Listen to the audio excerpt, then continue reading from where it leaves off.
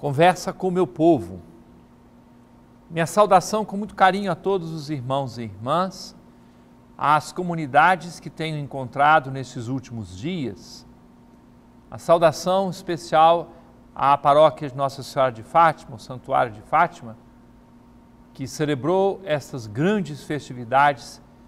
Eu estive no sábado, celebrei a Santa Missa, depois participei da procissão das velas, também do Teodoro no domingo, eu celebrei a Santa Missa na comunidade Nossa Senhora das Candeias, da paróquia São Geraldo do Marex.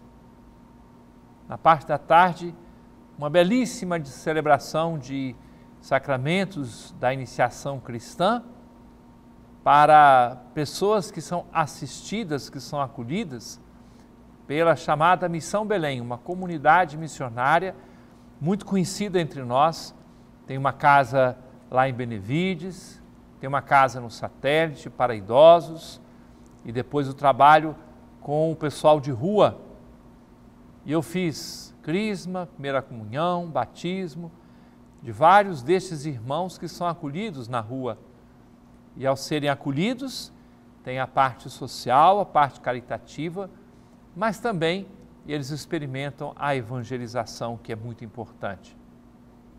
Ao final do domingo, dia 13, eu celebrei a Santa Missa na paróquia de Nossa Senhora de Fátima de Icoaraci.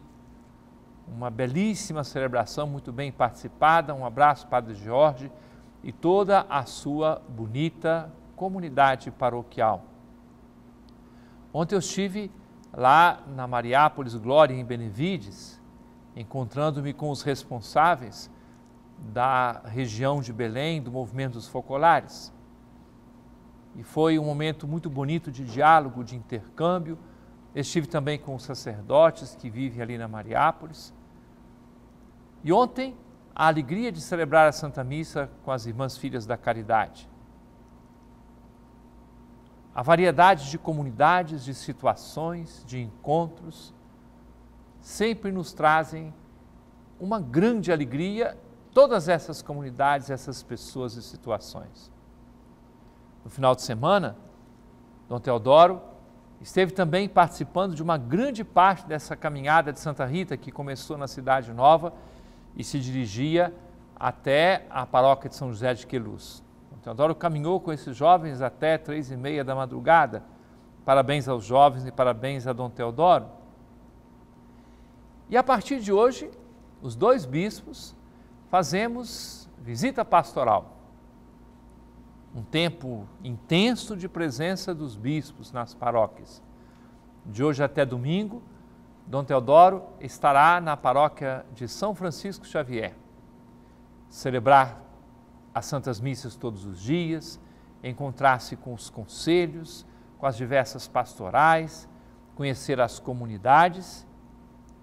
E eu, de minha parte, farei o mesmo na paróquia Santa Maria Gorete, no Guamá, Daí que de hoje até domingo, exceto na quinta-feira pela manhã, quando temos a reunião do clero, mas durante esses dias nós estamos disponíveis para a visita pastoral nessas duas paróquias.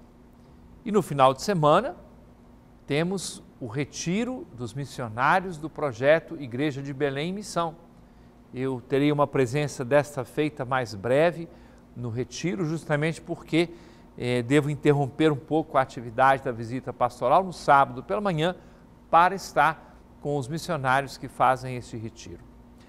E quero conversar com você no dia de hoje exatamente a respeito deste nosso bonito e grande projeto de evangelização. Nós sabemos que a Arquidiocese de Belém se prepara para a grande celebração dos 400 anos de fundação da cidade de Belém e o início da evangelização na região amazônica. Trata-se de um evento da maior importância para toda a região amazônica e para a Igreja. E o projeto Igreja de Belém em Missão visa ajudar a preparar a metrópole de Belém para celebrar de modo digno e santo este evento, fazendo ou contribuindo para que a nossa cidade seja mais humana, mais fraterna e mais cristã. Esse processo de evangelização teve o seu início em 2007 e a partir de 2010, com a posse do novo arcebispo, eu quis assumir o andamento do processo, o que nos possibilita de levar adiante algo que já tinha sido plantado com muita dedicação anteriormente em nossa arquidiocese. O que nós queremos? Criar em toda a igreja um espírito missionário, para que todos os discípulos de Cristo se sintam e sejam efetivamente missionários. Toda a pastoral arquidiocesana deve ter este sentido, este colorido, este impulso de missão. Vale para as diversas paróquias, as pastorais, os movimentos e os serviços, visando envolver todos os agentes pastorais e ajudando a criar comunidades cristãs vivas e fazendo com que a Arquidiocese de Belém seja esta, essa grande malha, uma rede de comunidades vivas de diversas proporções e segundo o estilo de cada bairro, de cada cidade da nossa arquidiocese. Nós queremos, durante esse período, e daí o sentido do próximo retiro para os missionários, que acontecerá nos dias 19 e 20, para o qual eu convoco todos já sabem, mas eu reforço o convite a que todas as paróquias enviem os seus missionários a participarem deste final de semana no Centro de Cultura e Formação Cristã. É o terceiro grande retiro missionário. Muito importante. Várias paróquias já estão multiplicando esses retiros que devem ser feitos também nas próprias paróquias. Nós estamos numa fase muito importante porque a partir do início do ano que vem, então nós entramos efetivamente a campo nos anos 2013, 2014, 2015, serão os três anos de atividade missionária. E essa atividade missionária se estenderá a todos os recantos de nossa arquidiocese, levando a boa nova de Jesus Cristo, visando a formação de pequenas comunidades de grupos de reflexão nas diversas áreas de todas as paróquias e regiões da nossa arquidiocese. Temos o desejo de que todos esses missionários façam eles próprios uma experiência profunda da fé através desses encontros de reflexão ou retiros que têm uma finalidade muito importante, é que eles realmente se tornem militantes, fortes, dispostos, que tenham as convicções bem trabalhadas dentro do seu coração, de forma a levarem a todos esta comunicação da palavra do Evangelho. O nosso projeto Igreja de Belém em Missão procura também aproveitar os momentos fortes da vida da igreja para a evangelização das famílias que não têm participação ativa, transformando os encontros, por exemplo, quando se faz a evangelização que precede ao Sírio, ou quando as paróquias fazem esses encontros de evangelização antes das suas festividades, para que nós ajudemos essas pessoas a se sentirem chamadas, acolhidas, valorizadas e assim elas possam participar plenamente da vida da igreja. Depois, além desses retiros preparatórios, nós teremos encontros periódicos para uma constante animação missionária. Essa dinâmica que pouco a pouco nós queremos implantar em nossa arquidiocese. Os missionários que estarão presentes no próximo final de semana, dias 19 e 20, no Centro de Cultura e Formação Cristã. Eles estão aprendendo a fazer uma coisa que para nós é muito importante ajudar o povo de Deus a aproveitar esse tempo especial da graça de nosso Senhor. Implorar e viver como a igreja tem pedido nesses anos um novo Pentecostes em todas as comunidades cristãs. Despertar a vocação missionária, a ação missionária dos batizados, animar as vocações e os ministérios que o Espírito Santo dá aos discípulos de Cristo na comunhão viva da igreja e ajudar a todos os que participam das nossas paróquias a ir ao encontro das pessoas, das comunidades, para comunicar e partilhar o dom do encontro com Cristo, que encheu nossas vidas de sentido, de verdade, de amor, de alegria e de esperança. Para nós formarmos os chamados discípulos missionários, é que nós realizamos estes encontros. São encontros importantes de formação. Eu peço a você, e quantas pessoas nos acompanham agora e fazem parte de conselhos, de equipes de evangelização e de outras organizações em nossas paróquias, eu peço a todos que digam aí à sua paróquia que nenhuma das paróquias da Arquidiocese pode faltar a este compromisso do próximo final de semana, sábado 19 e domingo 20, no Centro de Cultura e Formação Cristã, esse retiro, o terceiro grande retiro de preparação dos missionários de nossa arquidiocese. Lembrem-se, todos os participantes, que eles são convocados a serem pessoas que de verdade vestem a camisa do serviço da igreja, do anúncio do evangelho, porque eles serão como que pontas de lança para que a palavra de Deus e a vida da igreja chegue a todas as pessoas. Nosso desejo é claro que ninguém fique excluído do anúncio do evangelho. É uma tarefa que nós juntos assumimos com muita disposição em nosso coração.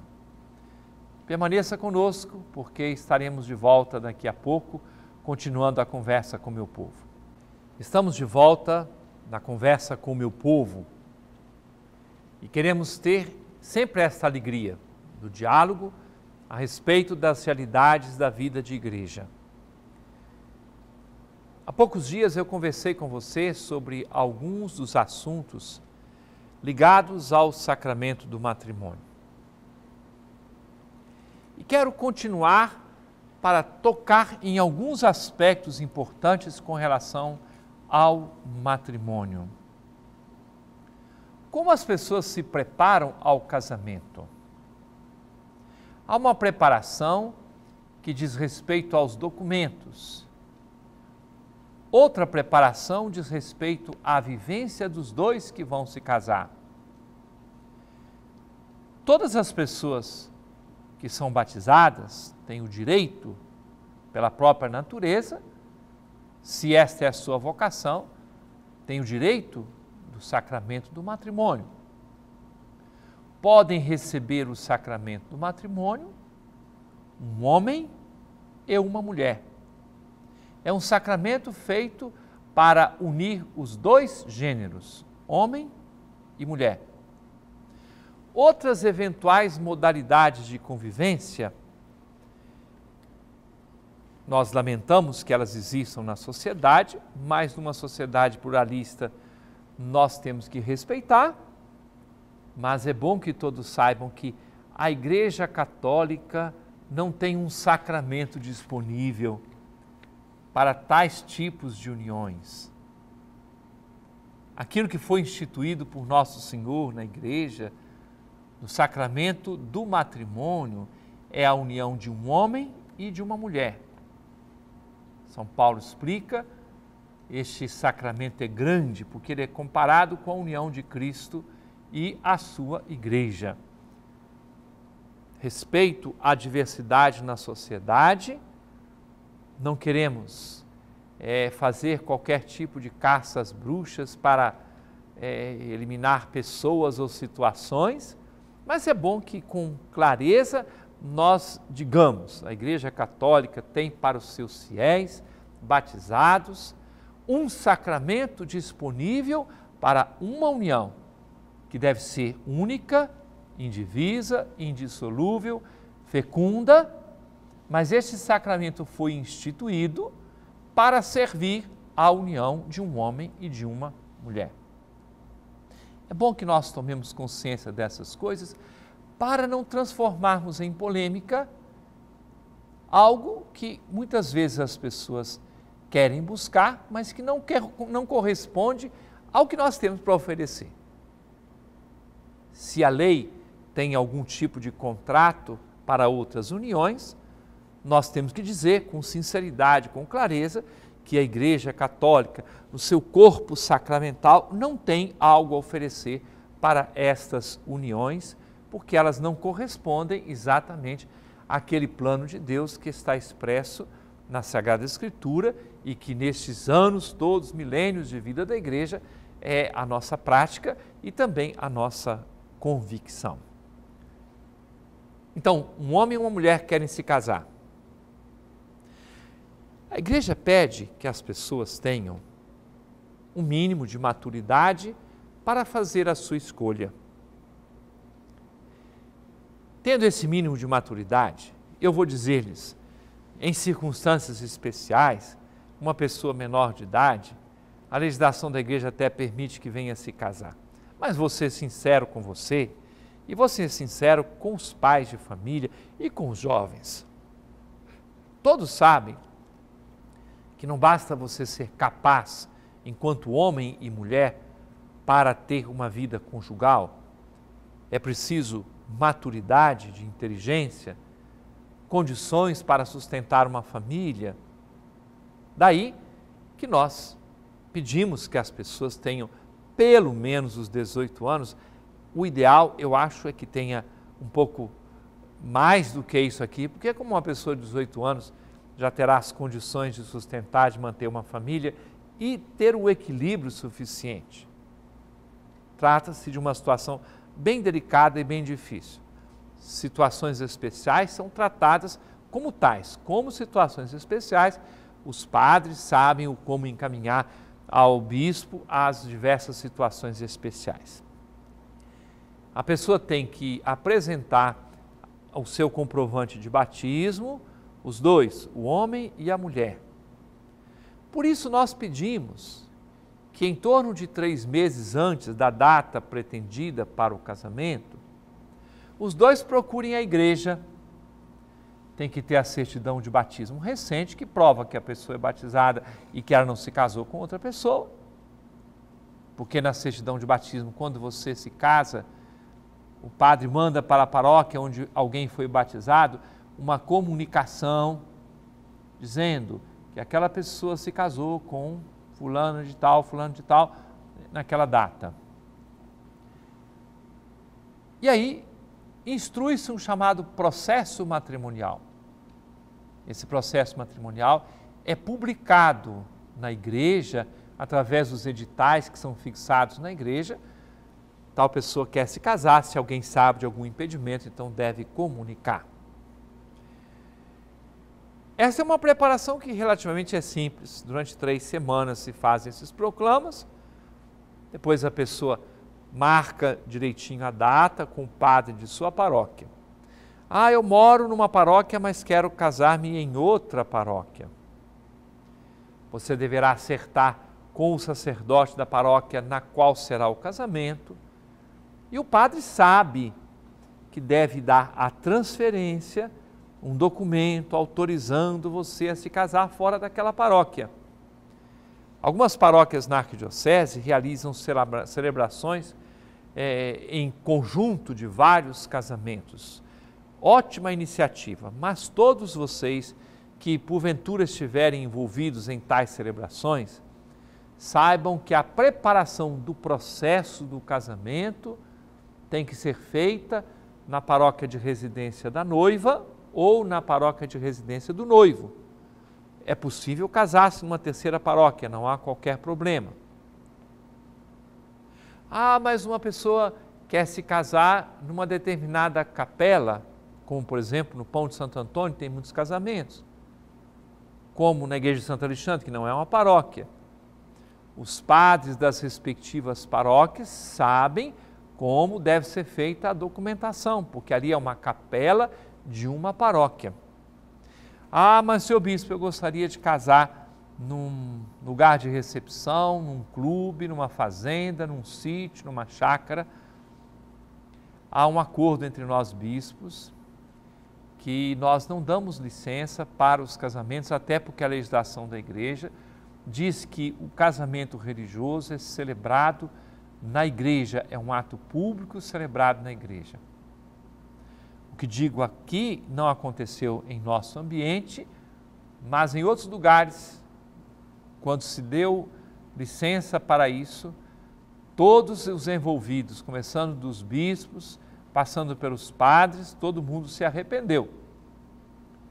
Porque um ambiente que não é religioso não é adequado para a celebração do sacramento do matrimônio.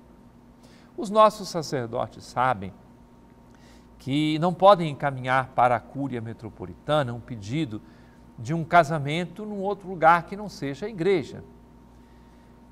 Agora alguém me pergunta assim: ah, nós vamos casar somente no civil. Lamento. Então o padre podia ir lá à festa, o padre ou o diácono, para dar uma bênção. Isso se chama simulação de casamento. Ah, mas tem fulano de tal, de tal igreja, etc., que faz isso. Paciência, estão enganando vocês. Vocês estão sendo enganados. Uma pessoa se casou num centro desse de, de, recepções, chamou uma pessoa que se chama padre, mas que não o é, e depois foi procurar a paróquia católica achando que ali ia encontrar uma certidão do casamento. Aí, depois de gastar um absurdo de dinheiro, porque infelizmente essas histórias por aí correm dinheiro muito alto, o resultado é que a pessoa descobriu, o casal descobriu que não estava casado, porque ali era um fazer de conta. Não basta alguém se vestir de padre e fazer toda aquela cerimônia ainda enfeita, ainda faz tudo quanto é pataquada, como diz o povo, mas não valeu nada. Não foi casamento, foi um fazer de contas. Não se enfeita aquilo que não se pode enfeitar. Se alguma pessoa, por circunstâncias da própria vida, se casa só no civil, eu tenho que lamentar, mas devo dizer, essas pessoas têm que assumir a responsabilidade sobre o que fazem e não podem fazer onerar a igreja com o passo que elas dão, que foi escolha destas pessoas. Mas não foi a busca do sacramento do matrimônio, foi um tipo de união diferente da união sacramental. Ah, nós estamos excluindo as pessoas? Não. Nosso Senhor sabe muito bem os infinitos caminhos que Ele tem para tocar no coração das pessoas. Mas eu volto ao início desta nossa conversa. Sacramento do matrimônio é uma graça oferecida por Deus através da sua igreja para pessoas que são livres, um homem e uma mulher, que estão dispostos a viver juntos a vida inteira, que estão dispostos a que esta união seja fecunda e faça bem a eles, à sociedade, à própria igreja. Isso é sacramento do matrimônio. Digo ainda uma coisa importante. Um casal que eu terei a alegria de abençoar o matrimônio nos próximos dias, conversando comigo, eu perguntei: vocês fizeram um encontro de preparação para o casamento? Fizemos. E como foi este encontro? eu me surpreendi positivamente com, esse, com esses noivos que me disseram. O que mais nos impressionou foi o testemunho dos casais. Casais que vivem há 20, 30, 35 anos unidos e disseram: quem sustenta a nossa união é a igreja, é a participação na vida da igreja. Que beleza! Deus abençoe. Eu estimo que muitos outros casais descubram nos encontros de preparação para o matrimônio, realidades semelhantes. Desça sobre todos a bênção de Deus Todo-Poderoso, Pai, Filho e Espírito Santo, e permaneça para sempre. Amém.